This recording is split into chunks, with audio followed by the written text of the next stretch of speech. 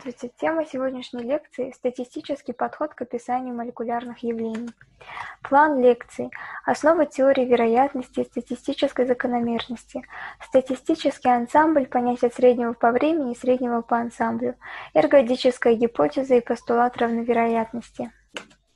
В науке и практике исследуется громадное разнообразие случайных событий, но наиболее общий результат исследования всегда формулируется в одном и том же виде: событие либо произошло, либо не произошло. Задача теории по предсказанию случайных событий сводится к нахождению количественной характеристики этих возможностей либо-либо и осуществляется с помощью понятия вероятности. Разделим объем, который занят идеальным газом, на две равные части. Будем считать, что мы можем различить частицы друг от друга и следить за положением отдельной частицы, не оказывая актом наблюдения существенного влияния на ее движение и состояние наблюдаемой системы в целом. Допустим, что система находится в неизменных внешних условиях. Рассмотрим событие, состоящее в том, что изучаемая частица находится в одной из половин объема. Тогда результат каждого наблюдения сводится к утверждению, что событие либо произошло, то есть частица находится в данной половине объема, либо не произошло, то есть ее в этой половине нет.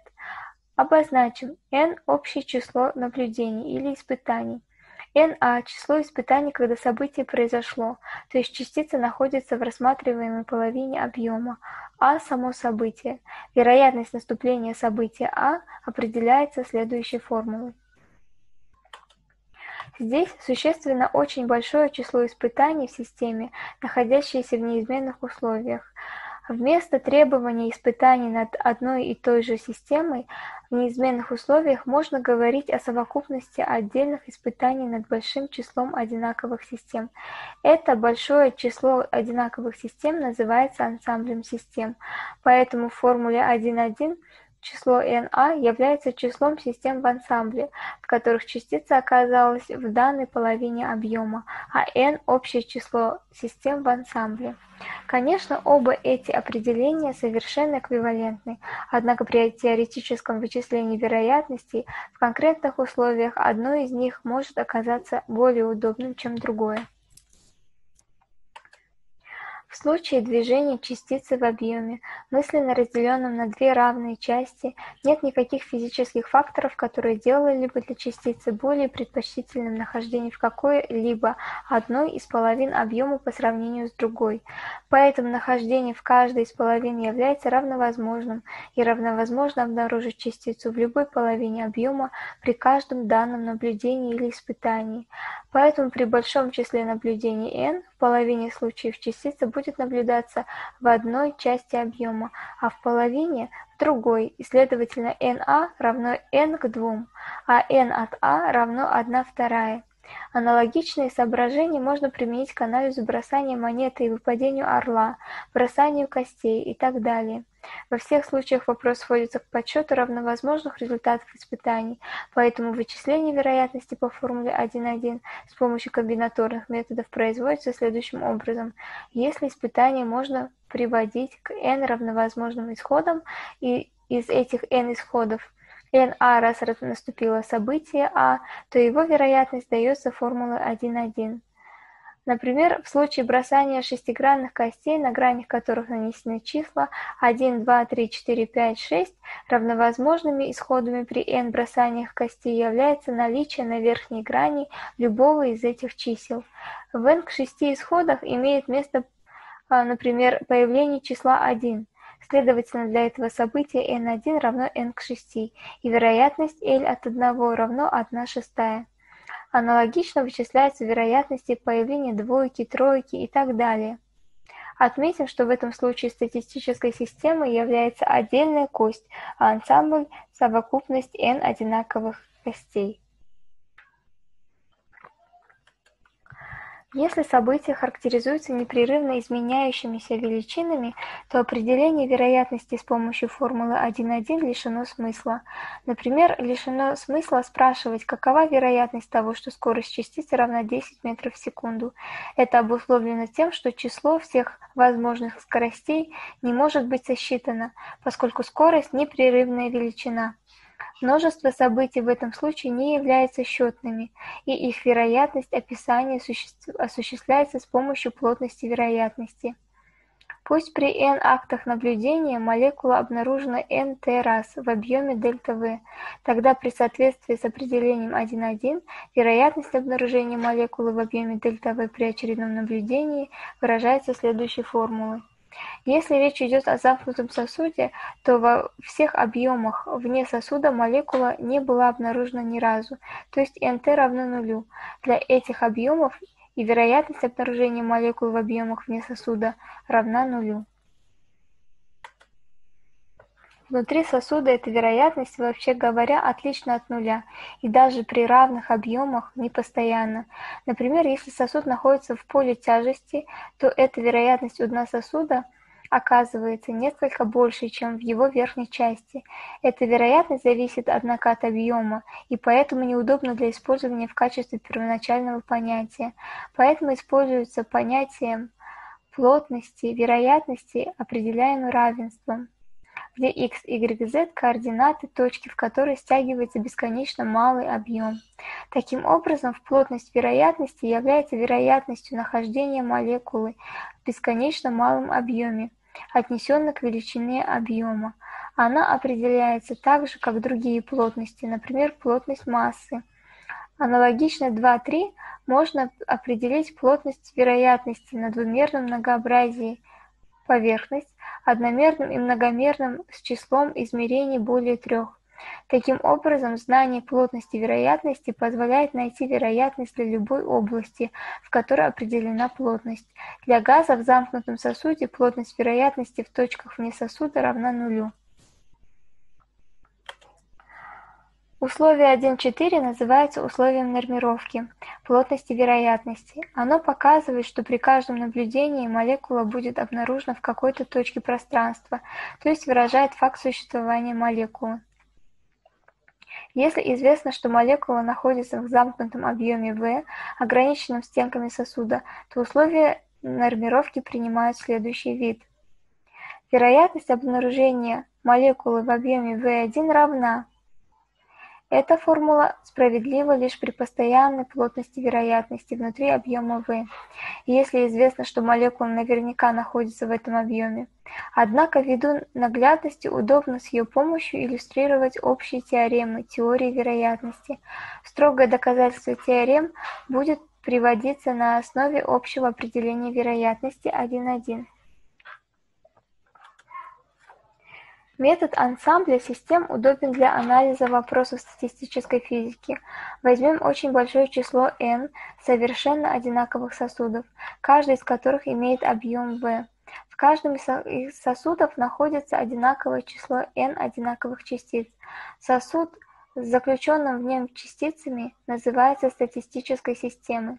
Совокупность одинаковых статистических систем называется статистическим ансамблем. Нас не интересует, как движутся частицы и в какой точках соответствующего сосуда они находятся в некоторый начальный момент времени.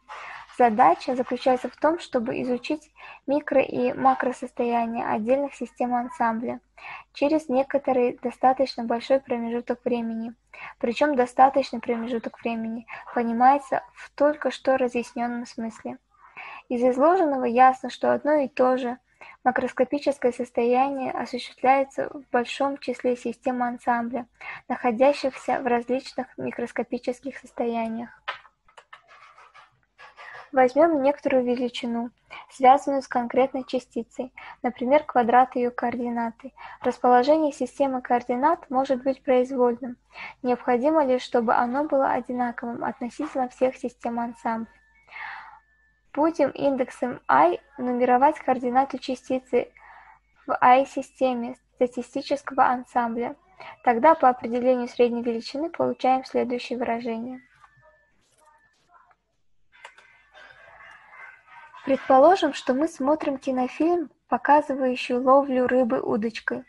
В некоторые промежутки времени рыбак вытаскивает крючок из воды, снимает рыбку с крючка и бросает ее в ведерко с водой. Затем насаживает червяка на крючок и забрасывает его в воду. Мы хронометром измеряем продолжительность этих промежутков времени. Очевидно, что суммарная продолжительность этих промежутков времени, деленная на продолжительность всего фильма, равна числу кадров, на которых зафиксированы картинки от момента вытаскивания кружка, крючка из воды до момента его забрасывания в воду, деленному на общее число кадров в фильме. В этом состоит главная часть эргодической гипотезы, однако не вся гипотеза. Что же еще требуется доказать? В этом равенстве индекс А показывает, что вычисляемая величина является средней по ансамблю. NA – число систем в ансамбле, xi – координаты частицы в системе ансамбля. Число ячеек в каждой системе ансамбля равна n равно 10 в тридцатой степени, а число систем NA в ансамбле предполагается значительно большим этой величины. Поэтому можно допустить, что число систем ансамбля, в которых частицы находятся в ячейке, велико. Пусть это число равно naj, тогда в соответствии с частотным определением вероятности вероятность нахождения частицы в ячейке выражается следующим выражением. Преобразуем сумму так, чтобы сгруппировать члены, относящиеся к одной и той же ячейке в различных системах ансамбля. Получаем выражение 2,3.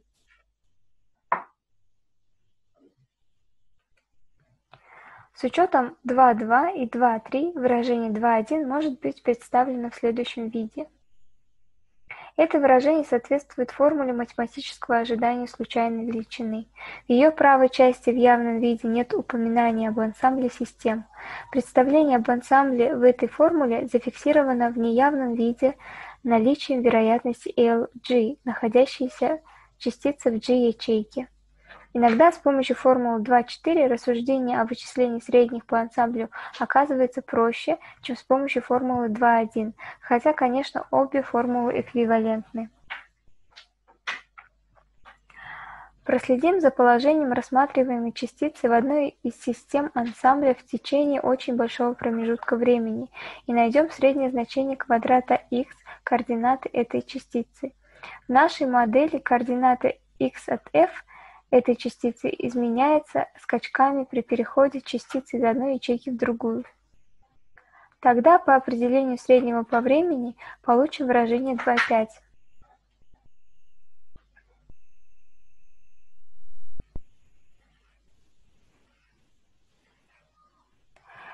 Интеграл в 2,5 можно преобразовать следующим образом и получить, и получить выражение 2,6.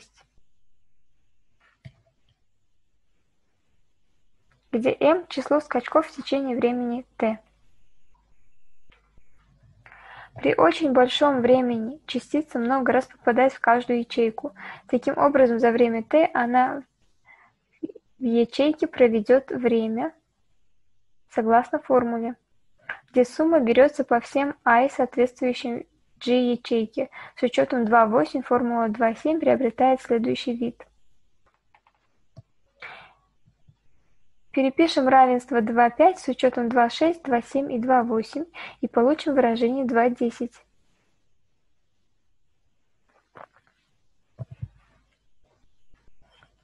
Спрашивается, равна ли вероятность 2,11 вероятности 2,2? На этот вопрос приведенные рассуждения не могут дать ответ, однако интуитивно представляется очевидным, что это так. Доказательства справедливости этой гипотезы для общего случая до настоящего времени отсутствует, она является одним из основополагающих допущений статистической физики.